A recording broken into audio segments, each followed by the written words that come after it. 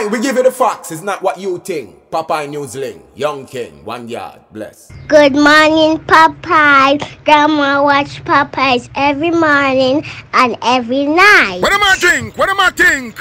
You're listening to Popeye NewzLynx. This is the Admiral Tibet who I represent and remember, the time is so serious, cantankerous and dangerous. This is Popeye News Links. Greetings, greetings viewers and subscribers. In today's journey, we are in the hills of Hanover. We're heading towards Montego Bay in the parish of St. James. Sit back, relax and enjoy this journey with me. Now, Sir Dexton, you spent your birthday in Jamaica yesterday. Well, you're still in Jamaica.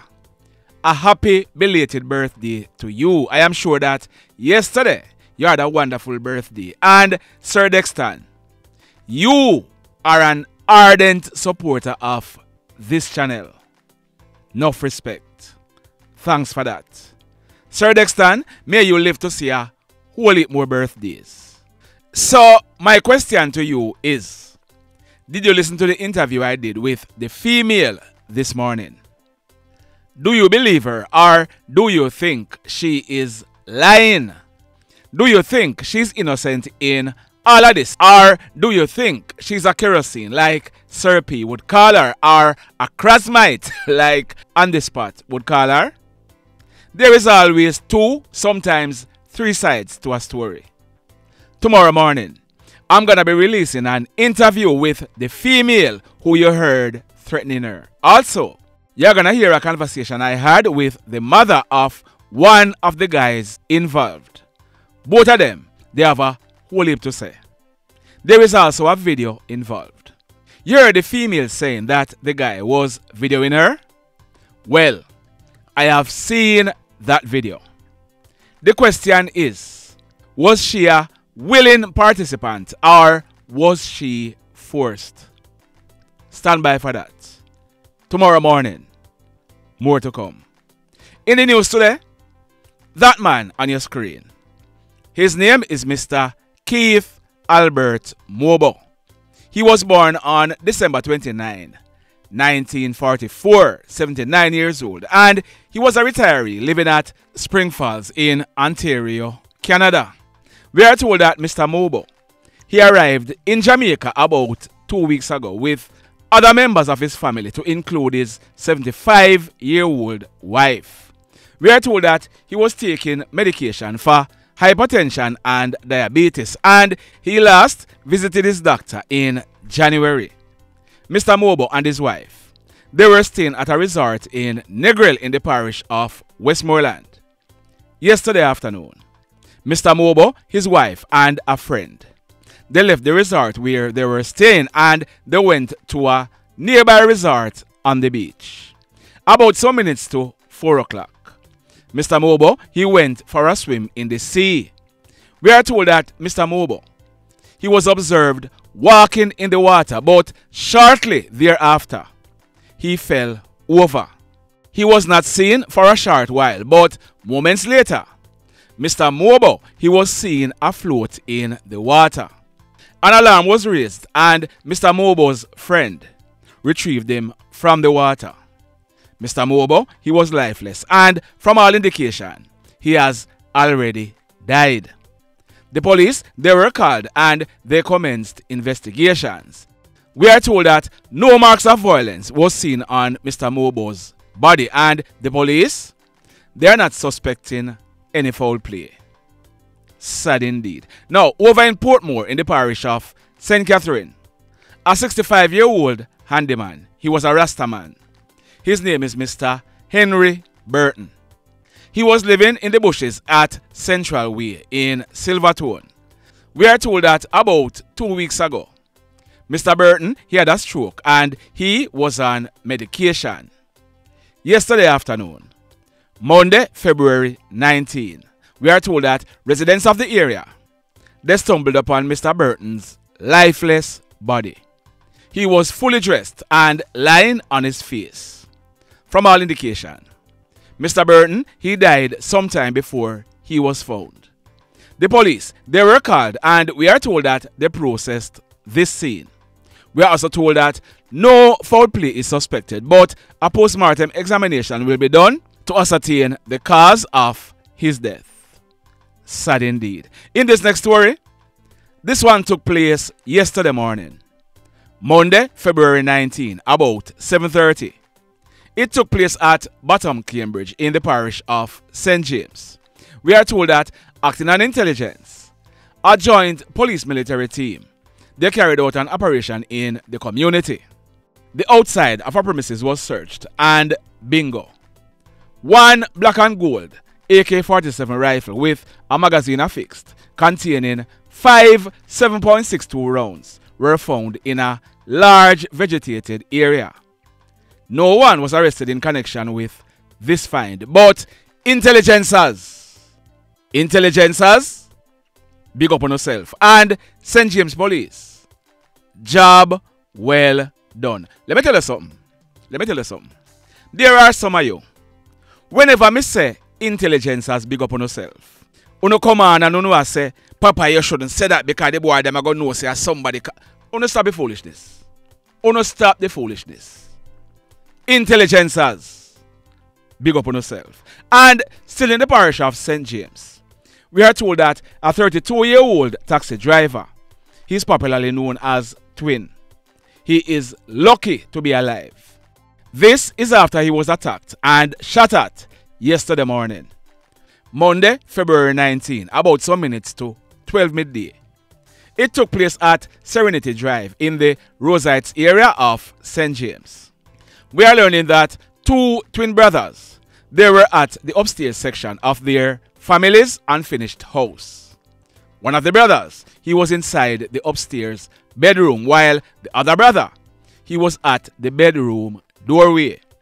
We are told that three hoodlums now, two of them are known as Skitter and Towie. They entered the yard with guns in hands. They then ran to the upstairs section of the house and opened gunfire at the twin brother who was standing at the bedroom door. The twin, he managed to run into a room, then jumped through the bedroom window onto a mango tree. He then made good his escape from the hoodlums. He was not shot, but he received several cuts and bruises. The hoodlums, they then made good their escape. So, Towie and Skitter, and we are told that Skitter, he's a well-known housebreaker in the area. They are wanted by the police. We are told that some days ago, Skater, he was trying to break into a house and he was beaten up and that is why they came to kill the twins. When the crime scene was processed, eight 9mm spent shells were recovered from the scene. The mayhem. Now, in this next story, we are learning that a man died in what is suspected to be a hit and run accident early this morning along the Howard Cook Boulevard in Montego Bay. Also, two men died in a traffic accident along the Spring Hill Main Road in the parish of Trelawny early this morning as well. Now, I'm gathering the details and we'll be updating these stories in a subsequent video. Stand by for that. In this next story, I carried a story on Saturday. I told you about an incident that took place the previous night. Friday, February 16, about some minutes to 11 o'clock. It took place at a shop at Haughton Grove District in the Ramble Police area of Hanover. I told you that two men were shot and one of them died on the spot. His name is Anthony Getten, but he was popularly known as Chopper. Chopper was 60 years old and he operated a shop in the area. Chopper, he's originally from Malcolm Heights in Lucea in the parish of Hanover. Back in the day, Chopper, he used to load buses at the Lucea Bus Park. He later got married and he went to live in the hills. In the report I gave you on Saturday, I told you that Chopper, he was involved in a conflict with two brothers and one of them had broken one of Chopper's hands and that matter was still pending in the courts. But no, it was not Chopper they were involved in the conflict with. It's actually the other man who was shot at the shop, and he was in fact the target of this attack. His name is Rudsun Ramsay. Next week, Wednesday, he would be celebrating his 44th birthday. I said would because Rudsun, who was shot in his neck, he died in hospital on Sunday, February 18. The mayhem. In this next update, I told you about an incident that took place at Coxheath in the Sherwood content area of Trelawny. It took place early Sunday morning, February 18, about 2 o'clock. A 59 year old farmer named William Jenkins, but he was popularly known as Samson. He was chopped to death. Well, the police, they have now charged Samson's 60 year old cousin named Roy Rose, but he's popularly known as Mafia. It is said that for the past two weeks, Mafia, he had been acting strange. He had even gone as far as to burn down his own house. We are told that Mafia, he has given the police a caution statement admitting to killing his cousin Samson. So, Mafia, he'll be going to the courts shortly. In this next update, I carried a story last Thursday. On Tuesday afternoon, February 13, about some minutes to 6 o'clock. That man on your screen. His name is Patrick Matthews, but he was popularly known as Chips. Chips was almost 31 years old and he was an electrician living at New Harbour Village in the Old Harbour area of St. Catherine. I told you that Chips, he drove his motor car to Casanora Drive in the Naggo Head area of Portmore, where he dropped off some workmen who were doing some work for him. As he was about to drive out of the community, he was approached by a hoodlum. The hoodlum, he spoke with Chips for a short while. He then pulled a gun and opened gunfire, hitting Chips to his abdomen and his left hand. Chips, he ended up dying in the Spanish Town Hospital the next day, Wednesday, February 14. Well, the police, they have made a breakthrough in that case.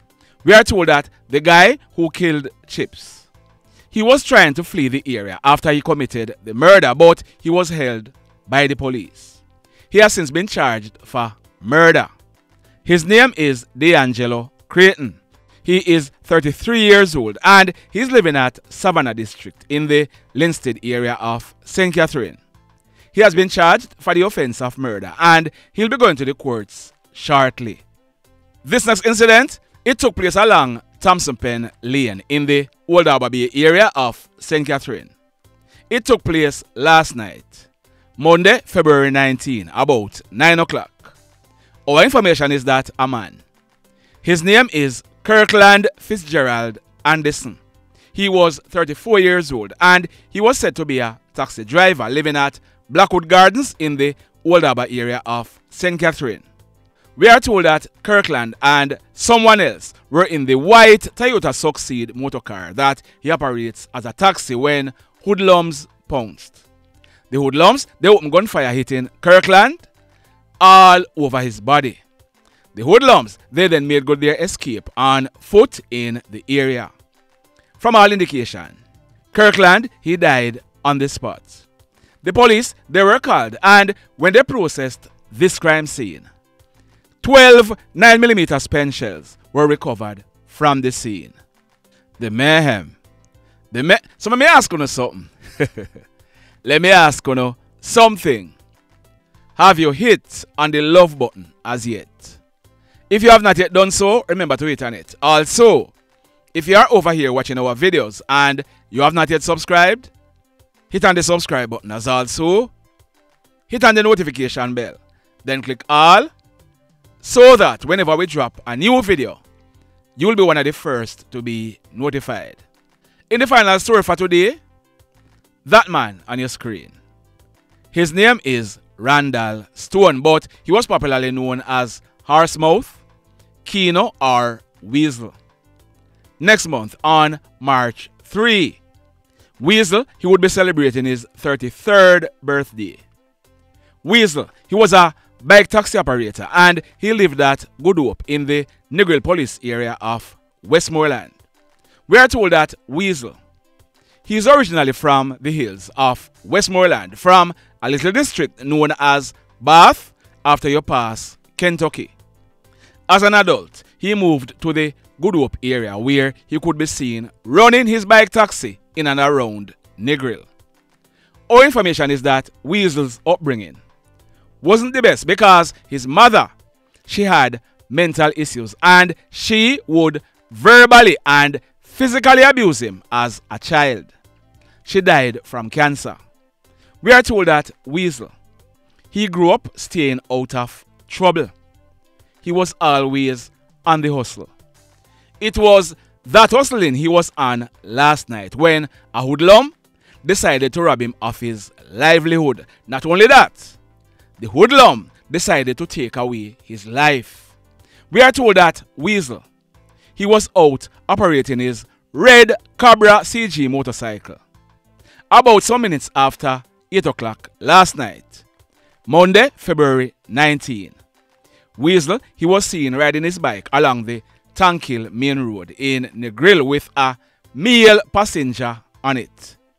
Shortly after that, gunshots were heard being fired, and the guy who was the pillion on the bike, he was seen riding the bike out of the area. When persons went and made checks, Weasel, he was seen lying face down with gunshot wounds to his upper body. Weasel, he apparently died on the spot.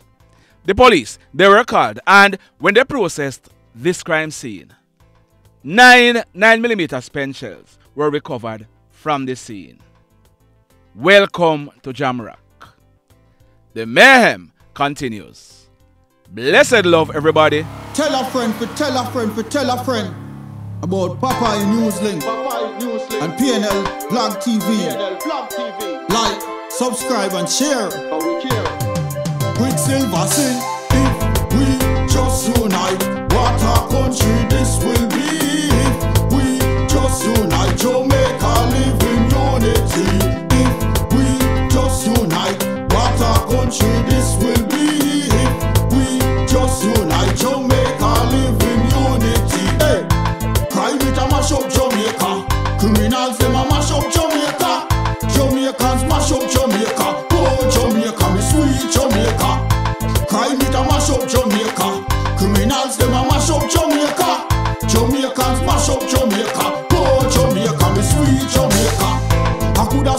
sunshine or. Jamaica, no problem, no pain. Rude boy them no out can't tame, but me want me country back. Give me me country back. To the street and the lane. Everybody them start complain. Bloodshed, what a shame, what a shame. But me want me country back.